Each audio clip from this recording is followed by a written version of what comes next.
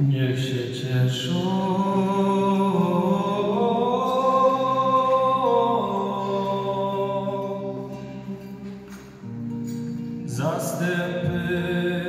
Niech Pan obdarzy Was spokojem. Sobota trzeciego tygodnia okresu wielkanocnego i kontynuujemy lekturę dziejów apostolskich. W tym fragmencie widzimy Piotra jako duszpasterza.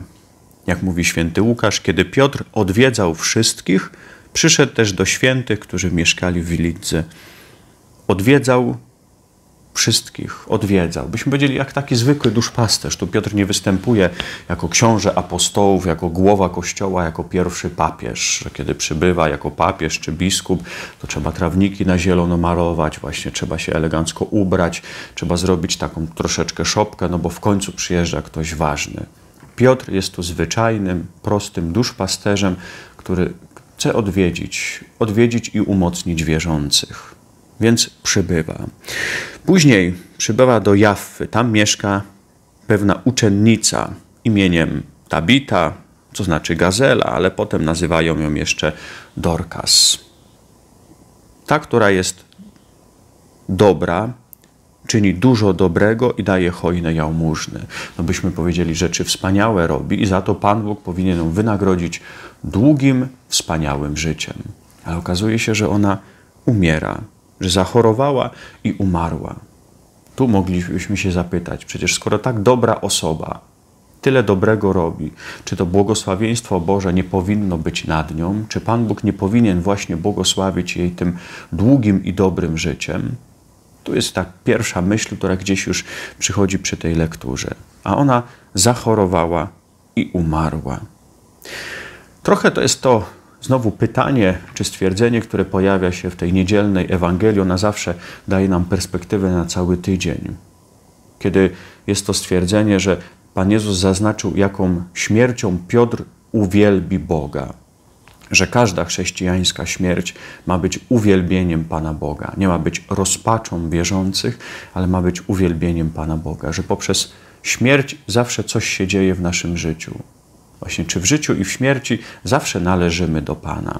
Więc kiedy umiera ta, ta bita, to również jest ten moment, żeby uwielbić Pana Boga. W tym wypadku poprzez wspaniały i wyjątkowy cud, bo faktycznie wołają świętego Piotra, mówią: Przyjdź do nas bez zwłoki. Przynajmniej takie mamy tłumaczenie w tym y, naszym lekcjonarzu. Bawiąc się trochę słowami, tymi polskimi słowami, nie greckimi, byśmy powiedzieli: Ale po co ma Paweł przyjść? Oni mówią: Przyjdź bez zwłoki, ale tak naprawdę to tak jakby powiedzieli: Przyjdź po zwłoki. Przyjdź, bo przecież ona już nie żyje. Nie wiem, o czym oni myślą. Czy Piotr ma teraz wyprawić jakiś wspaniały pogrzeb, czy ma przyjść się modlić o życie wieczne dla niej.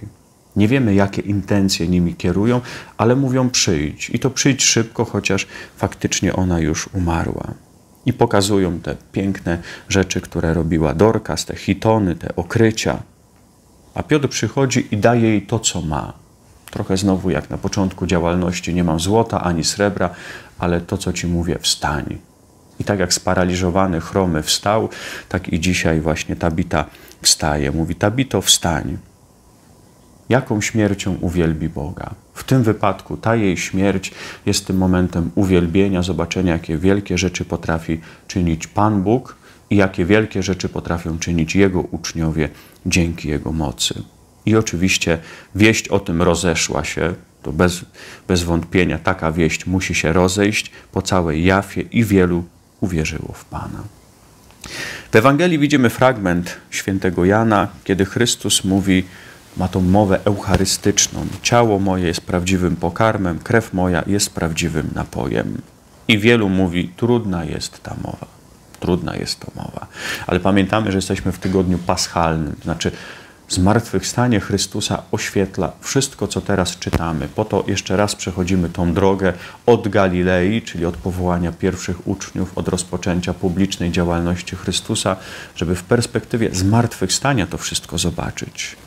Chrystus mówi, to was gorsza, gdy ujrzycie Syna Człowieczego, jak będzie wstępował tam, gdzie był przedtem.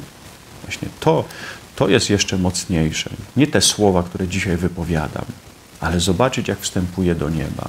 Faktycznie widzimy to w tym czasie Chrystusa wędrującego tutaj po ziemi, Chrystusa już zmartwychwstałego, ale też mamy tą perspektywę Jego w niego wstąpienia. To jest większy cud, zmartwychwstanie, a potem powrót do nieba. I skoro Chrystus zmartwychwstał, pokonał grzech i śmierć, to wszystko jest możliwe. Nawet to, że my będziemy przyjmować Jego ciało, które będzie prawdziwym pokarmem, a krew będzie prawdziwym napojem.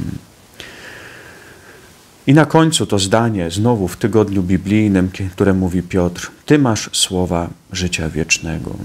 Te słowa życia wiecznego zawarte są w Piśmie Świętym, te słowa, które wypowiada Chrystus i Jego czyny, a przede wszystkim ta największa prawda o zmartwychwstaniu. Zgłębiajmy te słowa życia wiecznego. Możemy trochę szemrać, możemy się pytać, możemy mieć wątpliwości, ale zostańmy tak jak uczniowie, zostańmy tak jak Szymon Piotr i powiedzmy, do kogo pójdziemy, kto nam wyjaśni, kto nam rzuci światło na to wszystko. Odejdziemy, ale odejdziemy w pustkę i nicość i dalej zostaniemy z pytaniami i wątpliwościami. Zostańmy przy Chrystusie, który jest Słowem, Słowem Boga powiedzianym do nas, a Jego słowa niech będą słowami życia wiecznego. Pan z Wami. Niech Was błogosławi Bóg Wszechmogący, Ojciec i Syn i Duch Święty.